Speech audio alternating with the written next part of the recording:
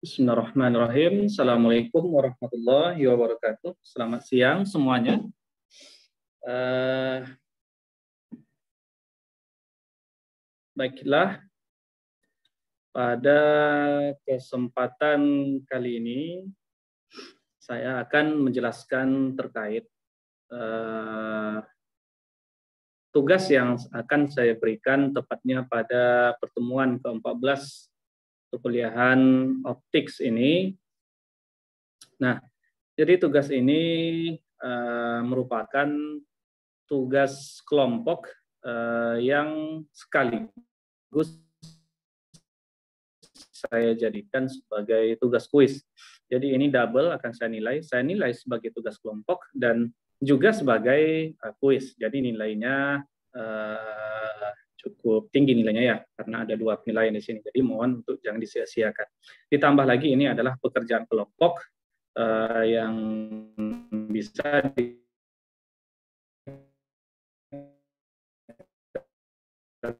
dikerjakan bersama-sama sehingga PowerPoint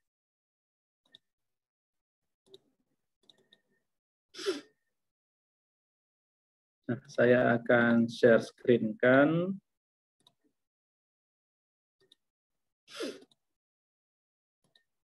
Baik, uh, jadi karena ini merupakan tugas kelompok, uh, saya akan membagi teman-teman semuanya menjadi eh, 12 kelompok ya. Jadi saya akan membagi menjadi 12 kelompok. Nah, jadi sebelumnya saya akan uh, tugas kelompok dan kuis optik uh, 4A. Nah, Eh, yang pertama saya akan coba membagi kelompoknya, tetapi saya akan mengambilnya dari portal list nama-nama kita kelas 4A ya. Bentar 4115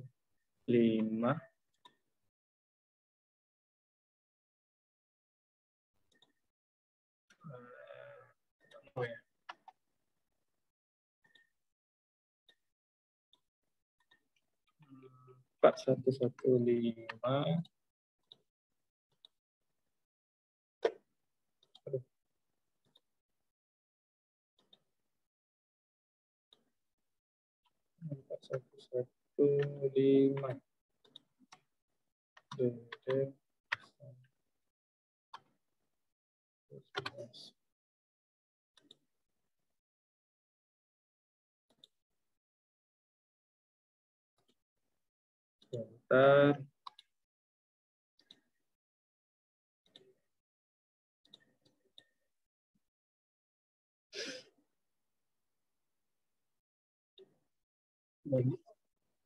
Jadi uh, saya akan ambil dari portal uh, pengolahan nilai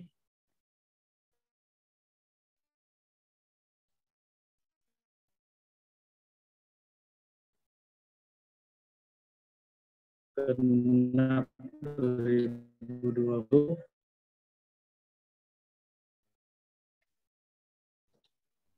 Bentar ya.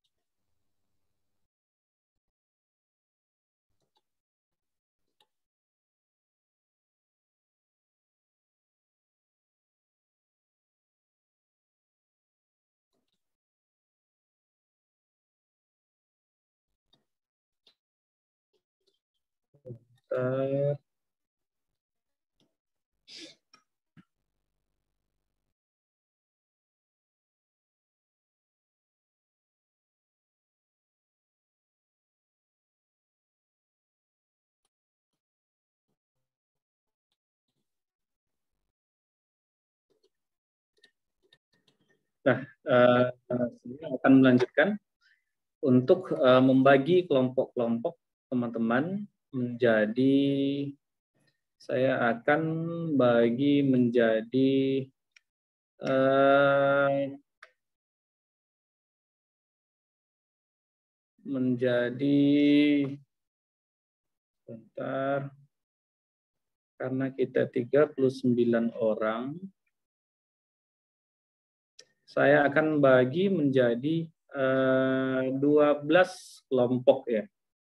Saya akan menjadi 12 kelompok. Jadi berikut ini Cynthia Hasibuan adalah kelompok uh, satu.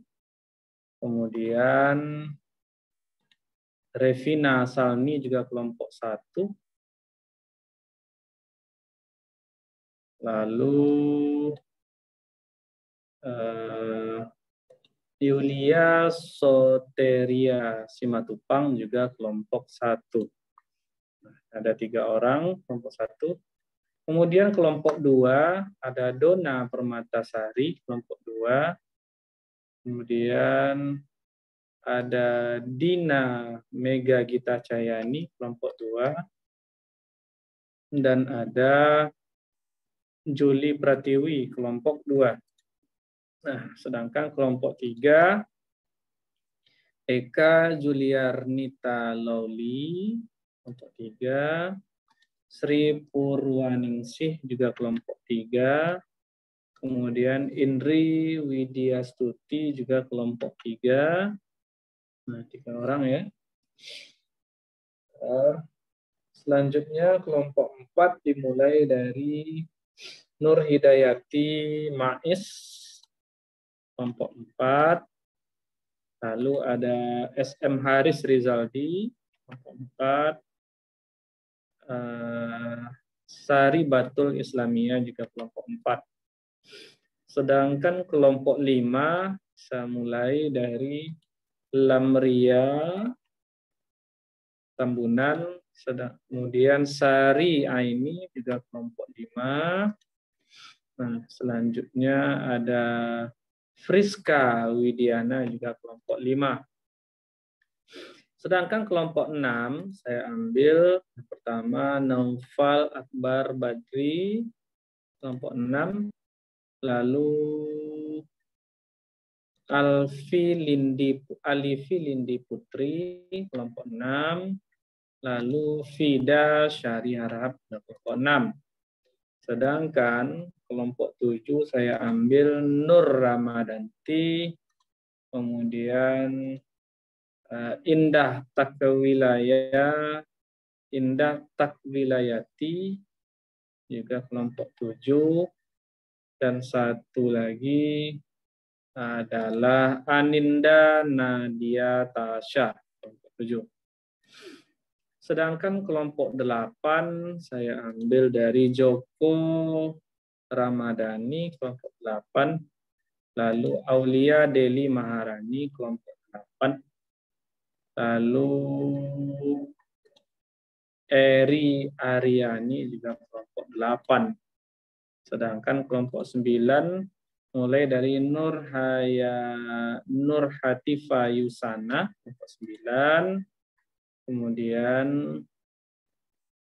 Elgi Syahputra Ramadan juga kelompok 9. Kemudian Radiatul Aishi juga kelompok 9. Nah, kelompok 9 ini berjumlah empat orang. Satu lagi adalah uh, Io Vita Marlina Sari, juga kelompok 9. Gimana dengan kelompok 10? Kelompok 10 yang pertama Novia Yunanda kelompok 10, lalu Retno Ika Ningtyas juga kelompok 10, lalu Putri Ramadhani juga kelompok 10, juga empat orang ya, kelompok 10 juga empat orang, ditambah dengan Pani Dwi Putri juga kelompok 10. Nah, kelompok 11 yang pertama Rin Indriani, kelompok 11, Lalu Shilpi Mulia juga kelompok 11. Eh, lalu Nur Fadila Utari juga kelompok 11, sudah tiga. Satu lagi adalah Aprilia Nurhasti juga kelompok 11. Sedangkan kelompok 12 adalah Devila Rosa kelompok 12 lalu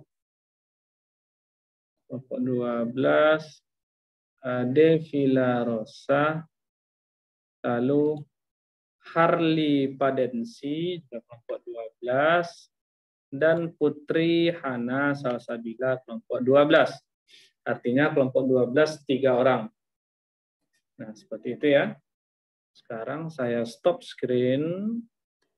Saya kembalikan screen-nya ke PowerPoint. Nah, jadi uh, saya tulis di sini kelompok uh, satu ada kelompok satu sampai kelompok delapan sampai kelompok delapan ini terdiri atas tiga orang kelompok 9 sampai kelompok 11 terdiri atas empat orang dan kelompok 12 eh, terdiri atas tiga orang. Nah, itu pembagian kelompoknya. Sekarang saya akan menjelaskan tugasnya seperti apa ya. Jadi tugas yang akan dibuat adalah uh, membuat membuat sebuah makalah nah, tentang tentang materi perkuliahan pada video pemba, pembel, pembelajaran atau video perkuliahan ya, video per video perkuliahan kita. Seperti itu. Jadi topiknya adalah membuat, maaf, tugasnya adalah membuat sebuah makalah tentang materi uh, perkuliahan kita yang sudah selama ini saya persiapkan pada video perkuliahan uh, yang sampai hari ini uh, akan saya lengkapi menjadi 12 tugas, artinya ada 12 video ya. Uh, tugasnya membuat makalah, jadi minimal minimal uh, 10 halaman dan maksimal 15 halaman. Nah, diketik diketik pada kertas A4. Nah, fontnya adalah Times New Roman, size 12, dan line spacingnya 1.5. Nah, seperti itu. sedangkan marginnya, marginnya kiri sama dengan kanan, sama dengan bawah, sama dengan atas, yaitu 3 cm. Nah, eh, lalu apalagi yang ingin saya sampaikan? Eh, jadi halaman 10 halaman atau maksimal 15 halaman ini tidak eh, tidak dihitung tidak dihitung halaman cover, koma daftar pustaka eh, atau daftar isi dan daftar uh, dan ya udah itu saja. Halaman cover kata pengantar koma. Nah jadi sekali lagi 10 halaman atau maksimal 15 halaman itu tidak termasuk uh, cover, kata pengantar, daftar isi, dan daftar pustaka. Tetapi cover ini harus dibuat. Kata pengantar juga harus dibuat, daftar isi juga harus dibuat, dan daftar pustaka juga harus dibuat. Nah, Di sini saya akan jelaskan satu persatu bagaimana cara membuat covernya. Nah, buatlah covernya dengan format. Jadi format covernya itu uh, tentu yang paling atas buat judulnya tugas kelompok optik 4A. Kemudian di bawahnya ada judulnya apa. Nah, setelah judul ada logo Unri. Setelah logo Unri ada identitas kelompok. Nah, nama name. Nah, kalau ada tiga orang berarti tiga orang ya. Kemudian ada program studi, program studi, bla bla bla bla, jurusan, fakultas, keguruan ilmu pendidikan, dan uh, Universitas Riau 2021. Itu adalah format cover. Jadi covernya ini dibuat semuanya size-nya 12, dibolkan dia ya masih tetap TNR. Nah, kemudian uh, setelah ini ada kata pengantar. Kata pengantar ya silahkan silahkan ditulis satu halaman saja ya. Kemudian setelah kata pengantar ada daftar visi Silahkan dibuat daftar isinya dengan rapi dan cocok antara daftarnya dengan isinya di belakangnya. Kemudian konten makalahnya, konten atau isi makalah. Nah, isi makalah ya silakan dibuat langsung saja. Contoh misalkan eh, persamaan Maxwell ya langsung saja misalnya persamaan Maxwell dan apa misalnya seperti itu. Silakan judulnya langsung langsung kita tulis seperti ini silakan. Persamaan juga diketikkan ya dengan size yang sama, size 12 ya. Nah, tidak boleh persamaannya uh, main apa namanya? snapshot snapshot ya. Main print screen print screen tidak saya terima. Tapi harus diketik Eh, menggunakan equationnya ya. Nah, lalu uh, kalau ada gambar silakan dimasukkan gambar. Kalau gambarnya dari internet silakan dimasukkan atau dari buku silakan, tetapi dibuatkan sumbernya. Kalau kita mengambil gambar ya. Nah, apa-apa saja yang perlu dituliskan pada konten isi makalah ini, uh, tulislah Ya artinya Anda sebagaimana tadi yang ditugaskan adalah membuat makalah tentang materi perkuliahan kita. Misalkan materi tentang persamaan Maxwell dan gelombang elektromagnetik misalnya ya. Ya, tuliskan teorinya seperti apa, persamaan-persamaannya seperti apa. Ya, uh, elaborasikanlah atau deskripsikanlah berdasarkan video pembelajaran yang kita sudah kita buat ya. Nah, sebetulnya kalau teman-teman Eh, simak dari video itu dan sudah membuat catatan perkuliahan ketika kita ketika saya tugaskan. Nah, mungkin tidak perlu membuat dari awal, paling ya tinggal nambah-nambah uh, sedikit aja lagi ya untuk mencukupkan 10 halaman. Nah, jadi tidak boleh hanya rumus-rumus saja, jelaskan dia. Itu kan sudah ada penjelasan saya di sana, dituliskan penjelasan saya itu di sana. Nah, seperti itu ya. Eh, kalau masih kurang, ya silakan ambil dari referensi lain, baik itu dari buku, dari jurnal, eh, dari internet, ya silakan. Nah, lalu yang terpenting adalah uh, tidak copy and paste dari internet. Nah, jadi kalau ada copy and paste dari internet, ya saya tidak akan saya periksa. Nah, kenapa? Karena budaya kita atau attitude kita, kita tidak boleh mengambil sesuatu yang sudah ada. Melainkan kita boleh mengambilnya, tapi kita tulis dengan bahasa kita ya. Harus kita tulis dengan bahasa kita. Nah, selanjutnya, eh, sebelumnya, Kalau informasi dari internet, lalu kami mau menulisnya, Pak, ya silakan ditulis sendiri. Ya, pakai bahasa sendiri, jangan di copy and paste langsung. Hmm, seperti itu. Oke, lalu daftar isi. Maaf, daftar pustaka. Daftar pustaka. Buatlah daftar pustakanya minimal 5. Ya.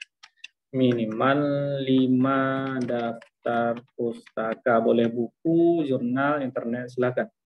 Nah, formatnya adalah uh, nama nama awal ya, nama awal koma uh, huruf huruf huruf nama gimana ya huruf nama ya udah contohnya seperti ini saja sebut contohnya misalnya Dedi Irawan kalau Dedi Irawan berarti saya tulis Irawan koma D titik koma yang kedua siapa misalnya lagi? Misalkan uh, saya berdua dengan uh, Jalil Ali misalnya. Berarti saya buat Ali, koma J. Lalu koma tahunnya tahun berapa? 2013 misalnya. Lalu koma baru buat judulnya. Judul apa? Setelah judul koma lagi baru uh, penerbitnya apa misalnya jurnal optik, jurnal optik, nah, jurnal optik Elsevier, Elsevier, misalkan Netherlands, oh, Netherlands misalnya, ya udah seperti itu saja. Ya. Nah kalau buku misalnya buku uh, buku uh, Holiday Resnick misalnya, tulis saja. Resnik resnik koma h koma karena dia sendiri. Tahun berapa misalnya? 2003 eh, misalnya koma fisika jilid satu koma penerbitnya apa penerbit koma tempat terbit Minimal ada lima daftar pustaka. Baik, eh, lalu apa lagi yang ingin saya sampaikan? Nah, sekarang kita lihat topiknya ya. Jadi saya akan berikan topiknya. Yang pertama untuk kelompok satu, kelompok satu topiknya adalah Uh, sebentar, saya buka video perkuliahan kita.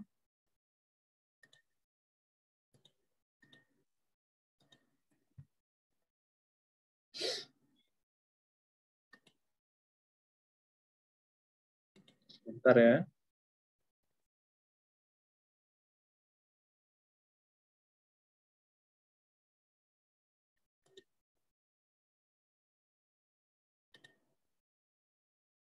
Sebentar.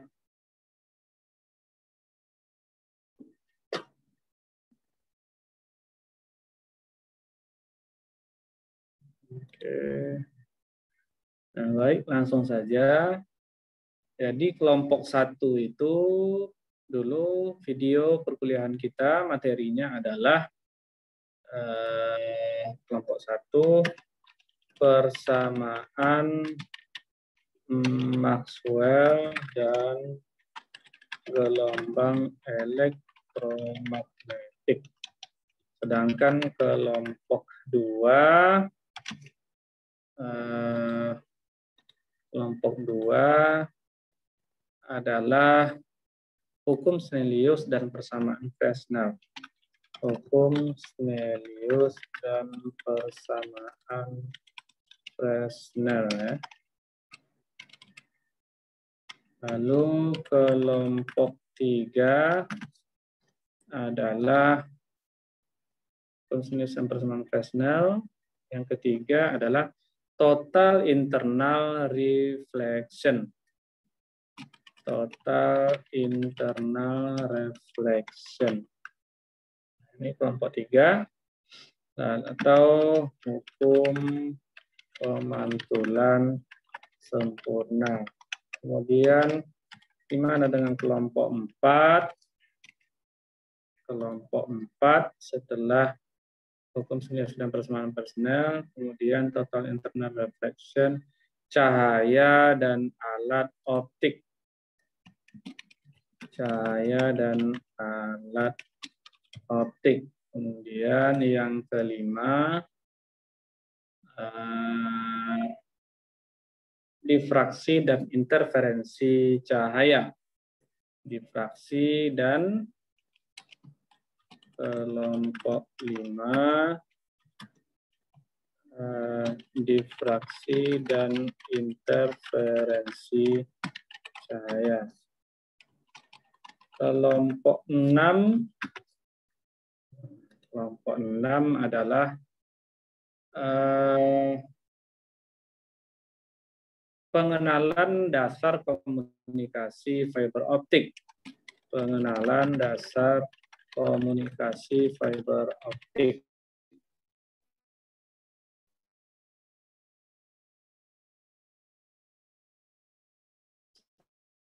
Dan kelompok 7 optik pandu kelompok web optik kelompok 7 web guide optik atau pandu gelombang optik. Sedangkan kelompok 8 kelompok 8 eh, kelompok 8 adalah optical loss pada fiber optik ya optical loss pada fiber optik. Nah, sedangkan kelompok 9 sedangkan kelompok 9 adalah instalasi dasar fiber optik. Instalasi dasar instalasi dasar fiber optik. Sedangkan kelompok 10 adalah uh, instalasi dasar pembuatan laser diode, laser dioda, laser laser dioda dan LED ya. Nah, kemudian uh, kelompok 11 adalah foto detektor. Kelompok 11 adalah foto detektor atau foto dioda ya. Foto detektor atau foto dioda Nah, uh, jadi ini kelompok 12. Kelompok 12 ini sebetulnya uh, apa namanya? Video perkuliahan kita tidak ada, tetapi saya uh, buatkan saja di sini materinya yaitu kelompok 12 setelah foto detektor dan foto dioda ini nah, sebetulnya ada Eh, saya akan menugaskan untuk membuat makalahnya, topiknya adalah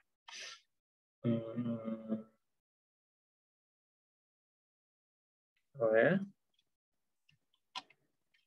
sensor optik, sensor optik ya, optical sensor, sensor optik. Jadi sensor optik ini di dalamnya nanti ada uh, fiber break grating dan ada di dalamnya juga tentang Mac Zender interferometer. Nah, ini ada 12 kelompok dan kelompok 12 khususnya tidak ada video perkuliahannya. Silahkan dicari eh, dari internet, sumbernya sangat banyak di internet, jadi silahkan dipersiapkan. Nah, Jadi tugasnya itu sekali lagi tugasnya adalah elaborasikanlah. Nah, jadi kembangkanlah atau elaborasikanlah uh, materi video perkuliahan kita. Nah, uh, intinya apa? Supaya materi ini semakin berkembang dan semakin banyak informasi yang diperlukan agar ke depannya perkuliahan optik ini dapat lebih baik tentunya ya. Nah, tentunya bukan untuk orang lain melainkan untuk uh, kita juga khususnya program studi pendidikan fisika dan yang paling adalah untuk mahasiswa pendidikan fisika uh, tentunya untuk junior-junior kalian nantinya ya. Nah, ini topiknya. Jadi jangan terlalu intinya ikuti saja video tersebut catat saja apa yang ada di video tersebut. Nah, lalu jelaskan dia. Nah, penjelasan saya kan juga ada di sana. Selain ada penjelasan saya, ya silakan tambah dengan penjelasan lain dari referensi-referensi lainnya. Nah, kalau ada perumusan-perumusan yang lain juga silakan dimasukkan perumusan yang lain dari referensi yang berkaitan. Nah, itu tugasnya. Eh, lalu kapan dikumpulkan? submission submi submission submission deadline-nya submission deadline-nya adalah uh, saya buat saja tanggal hari Jumat berarti hari Jumat berarti tanggal 11 dua minggu lagi dari sekarang ya. Hari ini sudah tanggal 28, Jumat berarti 11 11 Juni. Nah, 11 Juni hari Jumat 11 Juni pukul 11 Juni pukul 11.59 WIB. Hmm. Ini 11 59 eh, ini tentunya AM ya. AM WIB. Jadi ini sebelum ujian tepatnya, jangan telat untuk mengumpulkan. Nah, jadi sekali lagi penilaiannya eh, penilaian akan saya eh, nilai sebagai satu tugas kelompok